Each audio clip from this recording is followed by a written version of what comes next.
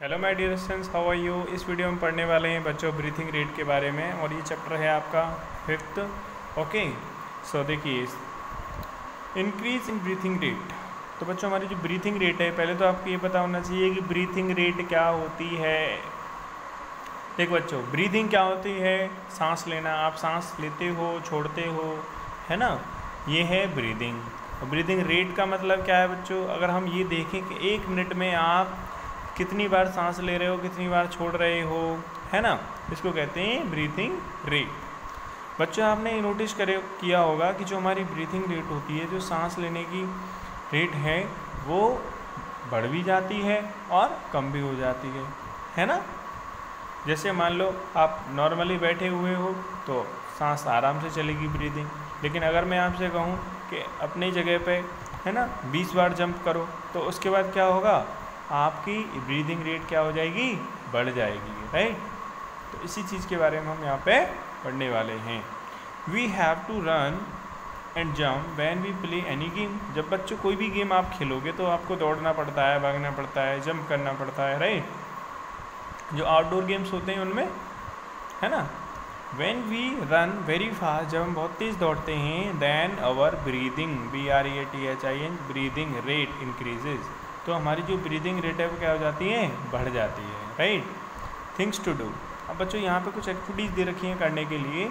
Seat relaxed आराम से बैठना है एंड ब्रीथ नॉर्मली आराम से सांस लेना है नॉर्मल तरीके से। जैसे लेते हैं place your fingers in front of the nostrils nostril क्या होते हैं बच्चों? हमारी नाक में जो छेद होते हैं ना, उनको कहते हैं नॉस्ट्रल्स ठीक है? तो अपने हाथ को, अपनी उंगलियों को नॉस्ट्रल्स पर रखना है, अपने नाक नाक के सामने रखना है। And feel the inhaled inhaled का मतलब क्या होता है बेटा? सांस आप अंदर लेते हो ना, उसको कहते हैं इनहेल और जो आप सांस बाहर छोड़ते हो उसको कहते हैं एक्सहेल्ड अंदर लेने, इन मतलब अंदर, ठीक है? तो अंदर जो लेते हैं उसको इनहेल्ड कहते हैं और बाहर जो छोड़ते हैं उसको एक्सहेल्ड कहते हैं. तो बच्चों, अपनी उंगलियों को नॉस्टल के पास रख करके आप आराम से फील कर लोगे, है ना? सांस अंदर जाते हुए, बाहर आते हुए पता चल जाएगा. Now jump at your place ten to twelve times अब अपनी जगह पे दस बार बार टेन से ट्वेल्व टाइम्स आपको जंप करना है. And then feel the inhaled and exhaled air again फिर दोबारा से फील करना है. ठीक है? Do you what do you realise तो आपको क्या महसूस होता है? तो बच्चों, आपको पता चलेगा कि आपकी सांस जो है, जो ब्रीथिंग रेट है, वो जल्दी जल्दी चलने लग जाएगी. आपकी साँसें पहले जो चल रही थी, पहले धीरे धीरे चल रही थी. जब आप नॉर्मल बैठे हुए थे, जब जंप किया आपने तो आपकी साँसें तेज़ हो जाती हैं, आपकी ब्रीदिंग रेट बढ़ जाती है है ना? इसके अलावा और भी होता है बच्चों, आपकी जो साँसें हैं वो कैसी हो जाती हैं? गर्म हो जाती हैं, ठीक है? हॉट हो जाती हैं थोड़ी बहुत। In which condition the air you breathe in breathe is slightly hot ठीक है? And when it when it is cold ठीक है? Blow air from your mouth three to four times in an empty glass और on the mirror तो क्या करें बच्चों? कि आप जो आप सांस ले रहे हो या छोड़ रहे हो, ठीक है, आपको क्या करना है? कोई ग्लास हो, शीशा हो, उसके सामने खड़ा होना है, या फिर कोई ग्लास हो, उसमें अंदर, ठीक है? आपको तीन से चार बार क्या करना है? ब्लो करना है, यानी हवा देनी है, हवा भरनी है उसमें ब्लो एयर करनी है, ठीक है?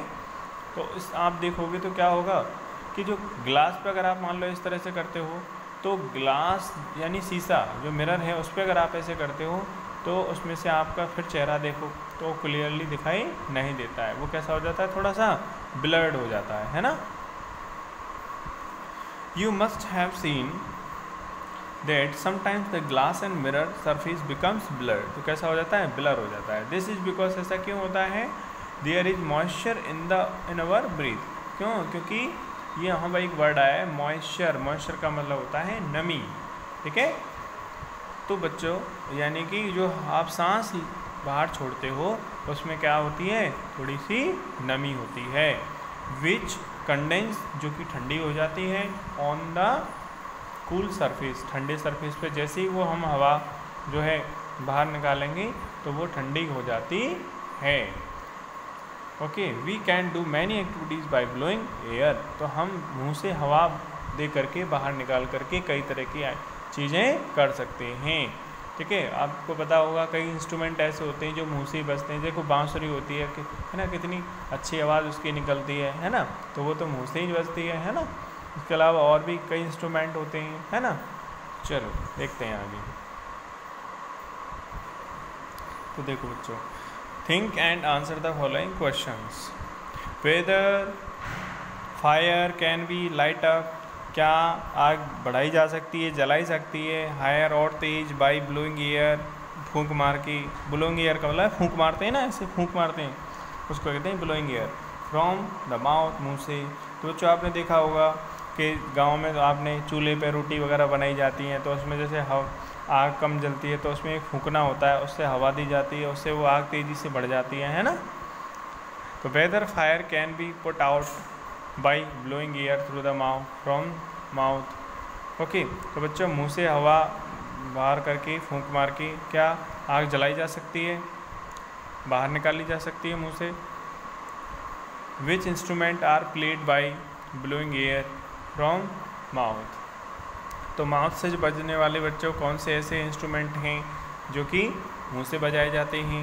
फ्लूट है, जैसे आप जानते हो, बांसुरी होती है। देखो, यहाँ पे एक बजा रहे हैं flute played by blowing air in it okay तो देखो बच्चों। यहाँ पे एक बच्चों, एक बहुत ही इंटरेस्टिंग चीज़ दे रखी है। आपने टेलीफोन बनाया होगा, है ना?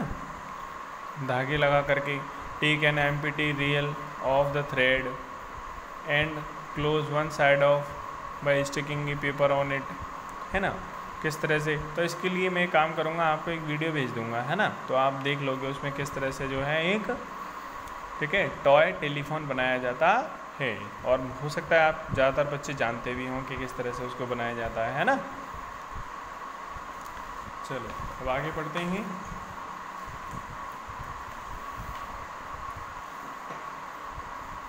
Take two to three rounds of your school playground बच्चों, आप अपने स्कूल में हो तो दो से तीन राउंड उसके लगाइए। Now note the time and count how many times you breathe in one minute तो बच्चों, एक मिनट में कितनी बार आपकी साँसें चलती हैं? Did you find any difference तो आपको कोई अंदर लगता है क्या? ठीक है? जब नॉर्मल आप बैठे थे तो उसकी सांसों की रेट अलग थी। ठीक है?